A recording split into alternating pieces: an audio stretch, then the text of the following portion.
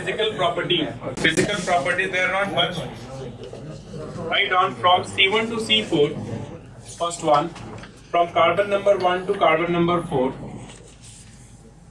The molecules are colorless, odorless gas. Exist uh, alkanes, physical properties of alkanes. Means methane to butane. One carbon to four carbon. What? One carbon to four carbon.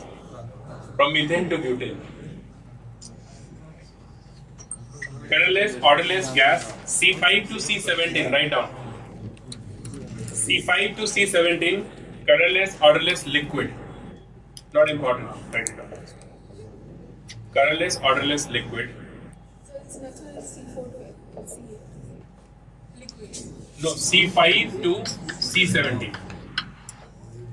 C18 onwards, C18 onwards, it is wax like solid, liquid. Wax like solid.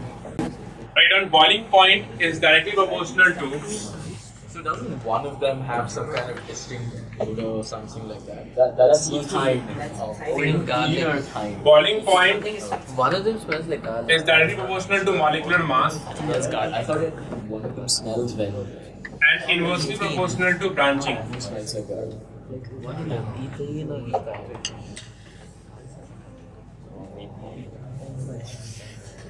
Right down as branching increases. Branching means what? If you have butane and isobutane, butane will have more boiling point. With branching, surface area decreases, hence boiling point decreases. Write down as branching increases, decreases.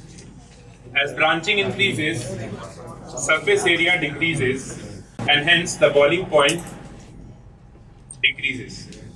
Next, write down melting point. Write down melting point. Melting point increases with increase in So branching increases surface area should decrease. so yeah.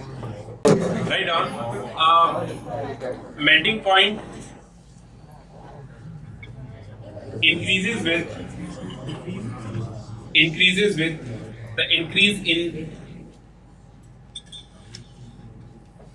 increases with the increase in the number of carbon atom. Write down alkenes with even number of carbon atom. Alkanes with even number of carbon atom. Even number of carbon atom has higher melting point than those of odd number carbon atoms. Alkanes, alkanes. You're talking about alkanes. So why See, when you have even number of carbon atom, symmetry is there, and hence melting point is more. So if you compare this propane and butane, butane has more melting point than uh, this thing. Even if you butane and pentane? uh, even if you have pentane, because of symmetry, its melting point is more. So how does symmetry? You have this thing of four carbon atom. Do we have symmetry here? We have a symmetry like this. Two carbon this side, two carbon. that there is symmetry, why does that? When you have symmetry like this, packing is good. Better packing, more melting point. That's why trans isomer also has better melting point, more melting point. Yes. So it's, not having a regular order.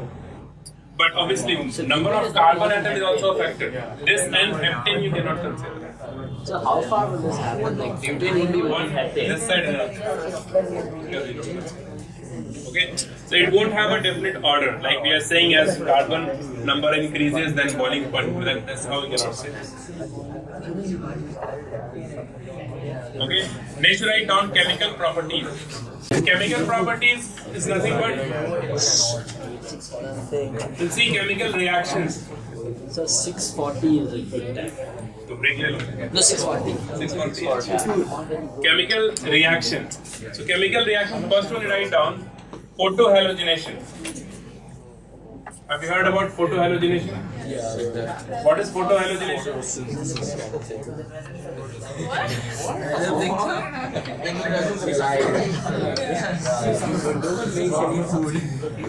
Photohalogenation means halogenation is presence of light. Oh god. RH next to H nu. Rx HX. This is the reaction. Right now, this reaction follows. This reaction follows free radical mechanism. This reaction follows free radical mechanism, and the reactivity order is for alkyl group CH4, then 1 degree, 2 degree, and then 3 degree. Follows free radical. Mechanism. Means free radical forms. Huh? Reactive. Reactivity of alkyl group. Like how much energy? This you don't write. Uh, no. Means uh, how fast the reaction proceeds. So 3 degree alkyl, uh, this, if you have, if you have branch over here, then the reaction goes very fast. So normally CH4 is considered as a radical thing, right? No, we don't. So why is it Why One does degree, one degree means you have carbon with another carbon attached. So why does three degree make it go faster? More See, bonds. we have carbon atom present here, right? So when this attacks over here, you get 3 degree radical, which is more stable. That's why. That's why it goes faster. More stable radical forms faster. That's why the reaction rate Right? Now there are two, three things you have to memorize here. The first point to write down in this only, fluorination. Fluorination. Two, three points for each of these reactions you have to memorize. Fluorination write down it is it is highly exothermic. It is highly exothermic and difficult to control. That's why generally fluorination we won't uh, do in this reaction. Exothermic, highly exothermic and difficult to control. If we use this method, then we use, when we allow this reaction to proceed in the in presence of nitrogen. We do this like it's written in the book like this reaction fluorination takes place in the environment of nitrogen, which reduces the rate of the reaction. So we can control a bit. But fluorination usually we don't right? Second point you write down chlorination. Chlorination. Exothermic. Exothermic, non-selective. Exothermic, non-selective. Ah, we'll discuss. Non-selective. Exothermic, non-selective, and we can control this reaction. Difficult, but we can control. Next, write on bromination. Bromination. It is selective, endothermic in nature. Selective, endothermic in nature. Selective means what? You get only one type of product. Suppose this is the alkane, and you are doing bromination of it. Oh, I, I haven't given the reaction for chlorination. Acha, right. Wait. Br2 with H nu. So selective means one type of product forms into this. Means wherever we get most stable radical, there only bromine. So this three, rad- three degree radical is this here. So the product of this will be. This one. So it's selective. We are getting only one type of product. If you are doing chlorination, suppose the molecule is this, right? And you are doing chlorination. So chlorination is what? It is non-selective. It means we do not have control over this. So you can get two mixture of two product here. One is this one degree primary alkaline and another one is this secondary alkaline. Both you can get. This means it is non-selective. This means it is selective.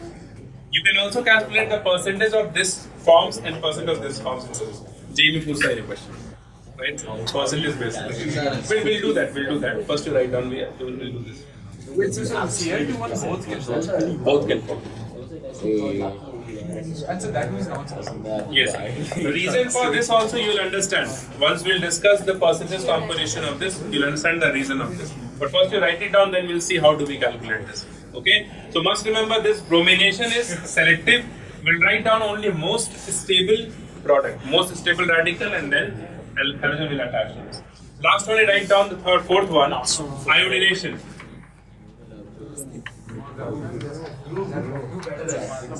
Iodination. Last Write one down- before the break. No, we have. right down. This reaction is reversible.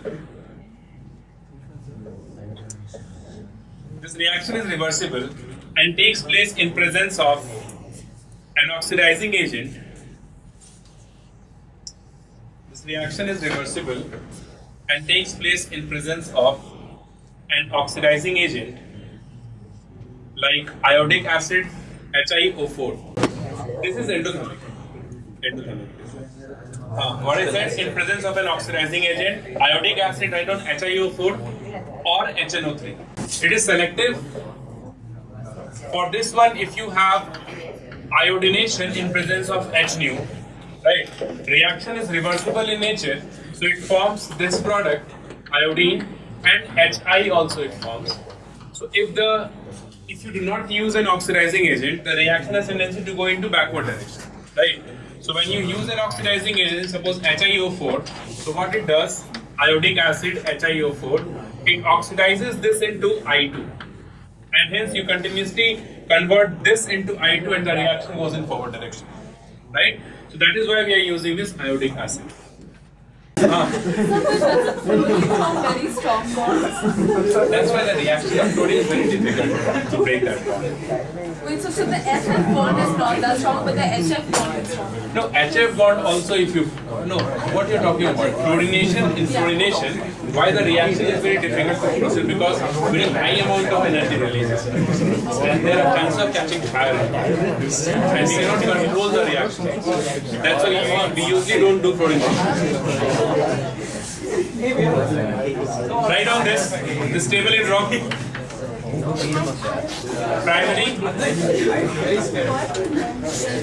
secondary and tertiary. Write down the heading percentage composition. Percentage composition. So is this for iodination or Chlorination and bromination.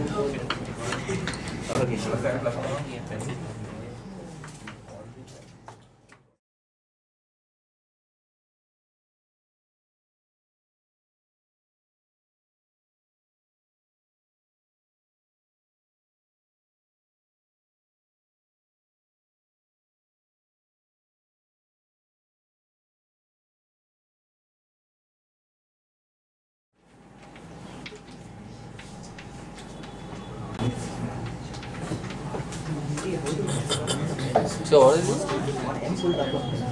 So what is the value? This is the relative rate of chlorination for hydrogen atom. Relative reactivity you can say. Relative rate of the reaction you can say. Means the rate of reaction of secondary hydrogen with chlorine is 3.8 times more than to that of primary. And then 5 times to more than to that of primary. This way. Ratio of this is 1 is to this is this. Now in bromination you see the tertiary hydrogen has the highest reactivity, right? And the difference is huge. That's why we get mainly tertiary uh, Wait, so 82? 3.8, yeah, 82. 82. Now in bromination, why we get tertiary? Because its reaction, its relative rate is very high. That's why the chances to get tertiary um, uh, product is maximum over there, and hence it is selective in nature. 3.8 and 5 are comparable, right? You'll get both products. Huh? so but then if the rate is more, that doesn't mean that it's a major product, right? It just means that we'll get formula forms. Yes, so all those tertiary hydrogen that you have, that will react easily because its rate is more means what? Those hydrogen has maximum tendency to react. in time. So that's why we get rate tertiary. No, no, no. Pankonik of alkene. Right, so this is experimental data. Right? Dhruv, what's now you the see how do we calculate the percentage composition? So what is this? Percentage composition. Chaitanya, Chaitanya, what all products we get into this?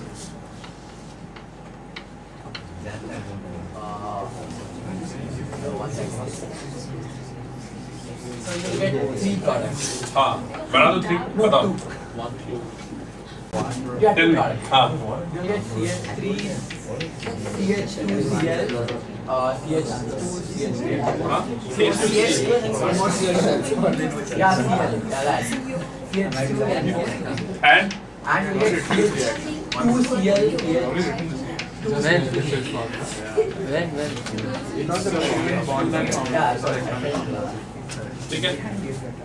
Given your product, since it is non-selective, so uh, secondary, tertiary, or primary, whatever possible, both will make, right? Now, how many 2 degree hydrogen we have here in this molecule? How many 2 degree hydrogen? 2 degree hydrogen means the hydrogen which is attached to 2 degree carbon. 2 plus 2, 4. How many 1 degree? 6. 6. Do we have 3 degree? No. no. 0. So, okay. Now to find out the composition of these two, what we will calculate? The reactivity of, suppose this is A and this is B. Or amount will write. Amount of A is the relative amount that forms. Since A is uh, secondary, so number of secondary hydrogen into reactivity of that, what is that? 3.8. Secondary. So 4 into 3.8. What is this value? 15.2.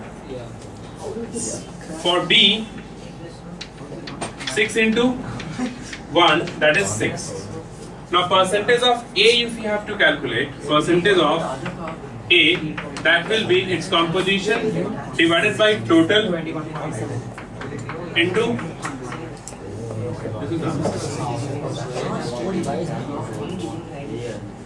it is this one, this one. It's primary, that's right. So why is it four into Total re- actually it is total reactivity also you can say in terms of that. Eventually you have to find out percentage. So you take the ratio and multiply, right? So we have four hydrogen and the hydrogen of reactivity of one hydrogen is 3.8. 3.8 into 4. Better you write reactivity, not amount. Total reactivity of 2 degree. Does not change the answer because anyways you have to find out percentage. Okay, so four secondary hydrogen we have and reactivity of one is 3.8. So total is 4 into 3.8 this. For primary 6 into 1 is 6. So total is 6, 21.2. So for A it is this by total into 100. For B what we'll write? 100 minus that or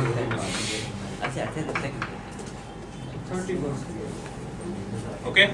That is how we calculate the percentage composition of this. In bromination the reactivity is quite high. See the comparison 20 times of this. Okay? That's why we only write the tertiary or secondary if possible. And it is selective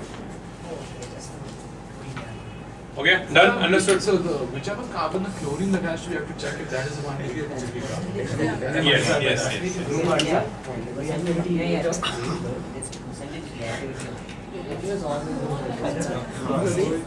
Hey Nitish, what's time?